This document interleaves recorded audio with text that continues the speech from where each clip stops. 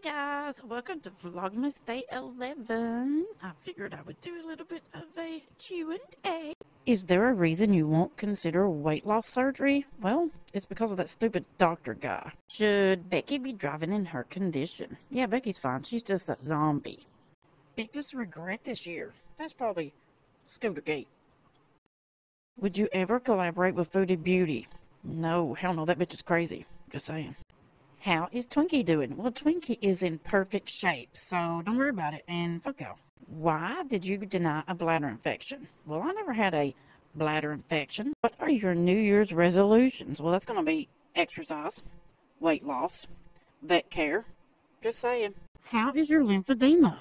I don't know. Why are you so afraid to do a weigh-in? Well, I've done several weigh-ins.